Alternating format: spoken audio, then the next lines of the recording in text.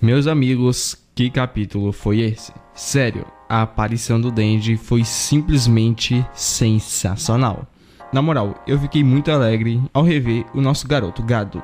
Mas enfim, pena que eu peguei spoilers antes de ler o capítulo. Todavia, deixando essa introdução de lado e já comentando sobre esse capítulo que meus amigos é de arrancar os cabelos, tudo começa, meus caros, basicamente da onde parou, que é com a Mitaka e a Yuko correndo do Diabo Morcego.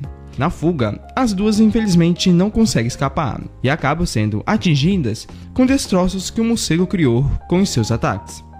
Mitaka, após receber os danos, percebe que a sua parceira teve um ferimento que a deixava incapaz de fugir. Nesse momento, o demônio Guerra aparece para a menina, como de costume, e a pede para que a mesma transformasse a sua amiga em uma arma, a fim de que eles fugissem. Ao fundo dessa cena, enquanto o diabo pedia para Mintaka fazer essa barbaridade, o Bat-Devil fazia um baita estrago com o corpo de uma figurante. Esse cenário todo, para lá de caótico, deixava a semi-protagonista bastante dúvida do que fazer. Tipo, por alguns determinados segundos, Mitaka até cogita eliminar sua amiga, visto que a sua situação não era a das melhores, já que como Yuki estava com um ferimento grande na perna, não tinha como as duas mancebas fugirem rapidamente. Ou seja, para escaparem dali, ou só uma saía correndo e deixava a outra para trás, ou a Mitaka carregava Yuko e fugia junto com a jovem, o que era o caminho mais salgado, pois não seria nada fácil a jovem fazer isso. Todavia, mesmo com toda a situação pendendo para Asamitaka não ajudar sua amiga, a jovem contrai tudo e todos e pega sua manceba e corre do demônio morcego. Nesse momento, algo bem engraçado é que o diabo da guerra fica simplesmente bastante pistola, chamando ela de idiota. Na fuga para lá de frenética, Mitaka não aguenta e acaba tropeçando mais uma vez na obra. Nesse momento, podemos ver um pequeno flashback com a Mitaka dizendo nos seus pensamentos que sempre nos momentos cruciais ela acaba tropeçando.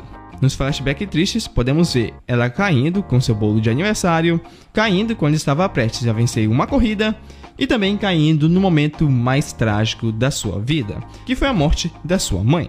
Esse fato aconteceu simplesmente quando o demônio tufão, que aliás apareceu lá no arco da Reze, saía destruindo tudo pela cidade. Mitaka, enquanto fugia junto com a sua mãe, vê um gatinho que estava bastante ferido. A jovem, como uma bela moça de um ótimo coração, tenta até salvar o bichinho. Entretanto, enquanto ela fazia isso, a mesma novamente, como de costume na obra, tropeça mais uma vez. A mãe de Mintaka, vendo essa situação e também vendo que vinha um carro em direção da garota, vai lá e salva sua filha com um simples empurrão. No entanto, essa boa ação de sua mãe, infelizmente, seria a última de sua vida, já que o carro, em vez de atingir sua filha, acabou se chocando com ela, o que causou a sua morte. E cara, sobre esse flashback simplesmente só me dá bastante tristeza por imaginar a vida da Mitaka. Tipo, se ela não tivesse tropeçado, a mãe dela jamais teria morrido. Indo além, ela simplesmente trocou a vida de sua genitora pelo gatinho. Nas páginas seguintes, após ter acontecido esse ocorrido, podemos ver a tristeza da jovem. E cara, rapidinho, só comentando sobre essa morte da mãe da Mitaka, algo que vale a pena nós mencionarmos sobre esse evento trágico é sobre o demônio tufão. Repare comigo, essa cena que esse diabo surge não se parece muito com a sua aparição lá no arco da Reze, só que em outro ângulo? Na moral, eu simplesmente, na minha opinião, acho que esse evento trágico na vida da Mitaka aconteceu lá na batalha do Denji contra Reze. Tipo, olha as duas imagens pelos dois ângulos, se parece muito. Mas enfim, era só isso que eu queria comentar. Seguindo ao capítulo de volta, vemos mais outros flashbacks, porém agora da conversa da Mitaka junto com a Yuko. Nele, podemos ver diálogos que não foram vistos naquela cena onde a Yuko emprestou seu sapato para Mitaka. Nela, podemos ver a receptáculo do demônio Guerra, indagando do porquê a está fazendo isso, preferindo ela sofrer bullying do que alguém ficar com pena da mesma. Ou seja, a Mitaka mandou logo: Ega menina, não precisa ficar com pena de mim, eu não quero sua ajuda. Porém, a Yuko, mesmo ouvindo isso, taca o foda-se e diz: Não tô nem aí para o que você tá pensando. Se eu acho que aquilo que eu tô fazendo é certo, eu fico feliz. E, mano, sinceramente, quando eu vi a Yuko falar essa frase, nossa, mano, meu Deus do céu, eu fiquei mais apaixonado por essa personagem. E, cara, eu não quero ser apaixonado por essa personagem, pois ela vai morrer logo, eu sei. Mas, cara, não tem como. A Yuko é muito cativante. Pareceu até o Luffy de One Piece, tá ligado? Se você for ver, reparar, quando ele salva a Rob, quando ele salva o Sandy, tipo, ele não tava nem aí pro que os seus companheiros estavam pensando, tá ligado? Se eles não queriam ser salvos e não. Ele só foi lá, salvou os caras, mesmo contra suas vontades, e tacou foda-se. Mano, gostei demais da Yu. Simplesmente nota 10 pra ela. Pra ficar perfeita, falta só a sua história de fundo. Mas enfim, Continuando o capítulo, depois desses flashbacks, vemos a continuação da fuga da Mitaka junto com a Yuko. A jovem, impactada pela opinião da Yuko, estava determinada a salvar a garota, custe o que custar, e corria freneticamente. Porém, mesmo correndo bastante, o demônio morcego acaba alcançando as duas e traga elas com sua boca. Todavia, neste momento, sem nenhum aviso prévio, simplesmente esse diabo é atingido por um outro demônio que foi alvejado por adivinha quem? O nosso lindo e garoto Dandy. Oh my god! Cara, que cena sensacional, mano. Na moral, mano, me deu até um arrepio pequeno enquanto eu tô falando isso, bicho. Tipo, quase dois anos que a gente não vê o nosso garoto no mangá. Mas enfim, essa colisão que o Diabo Morcego teve com outro demônio que foi atacado pelo Denji fez com que o mesmo morresse e soltasse as duas garotas de sua boca. O que foi bastante legal, pois as meninas ficaram vivas. Eu sinceramente não era muito fiel que fosse o Denji que iria salvar elas. Eu achava mais que seria o Yoshida, até para ele ser mais apresentado na obra, entende? Mas simplesmente eu gostei bastante do Denji já aparecer logo agora no mangá. O que é típico do Fujimoto, pois o cara simplesmente não gosta de enrolar em suas obras, tá ligado? É muito rápido as coisas que acontecem. Então, provavelmente daqui a alguns capítulos a gente já possa ver o confronto do demônio Guerra contra o Denji. Talvez, só teorizando aqui, o arco do Diabo Guerra nem dure tanto assim. Porém, isso já é assunto para outro vídeo e depois a gente discute essa discussão. Nossa, meu Deus, estou precisando de sinônimos para a discussão. Mas enfim.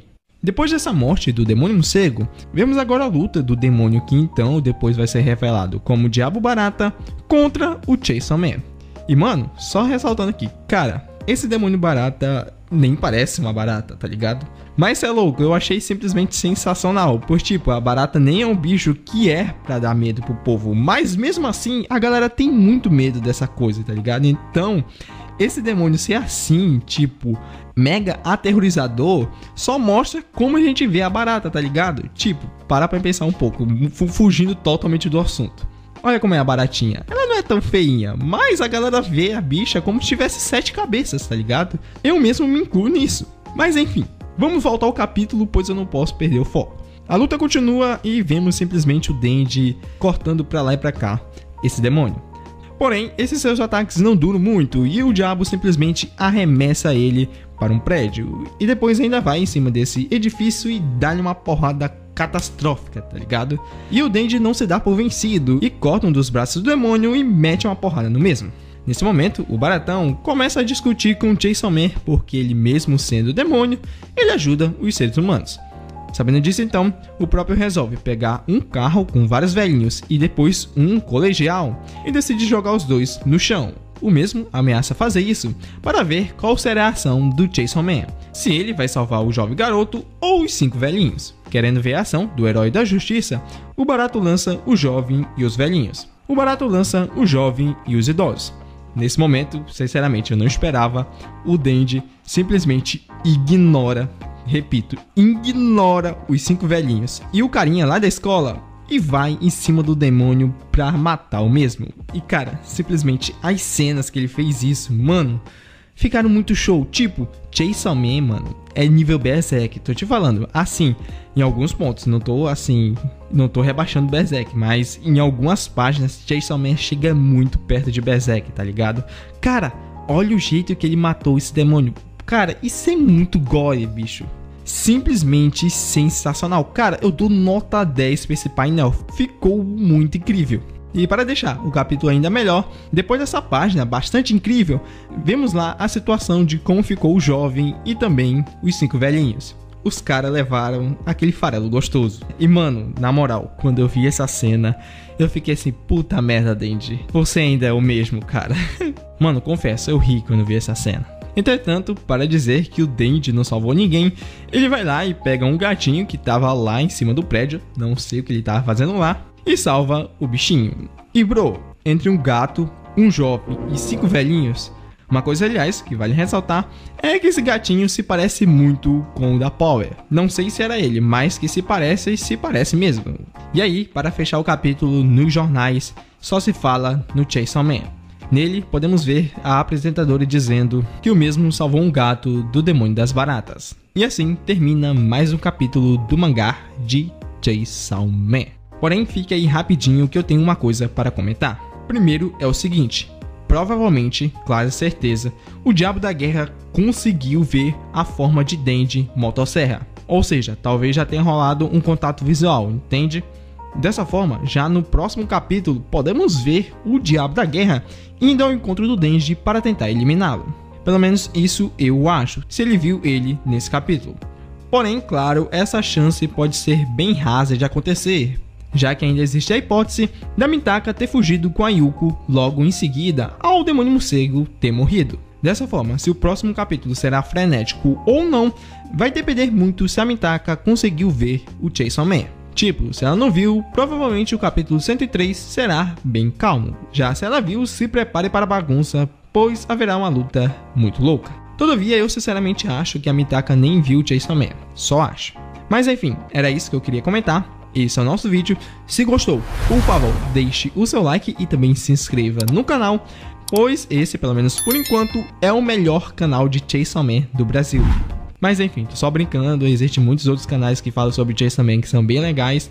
Mas, por favor, se você quiser me dar uma força, se inscreva no canal e também deixe seu like. Sem mais delongas, eu vou ficando por aqui e eu espero que você nunca use drogas e até o próximo vídeo. Fui!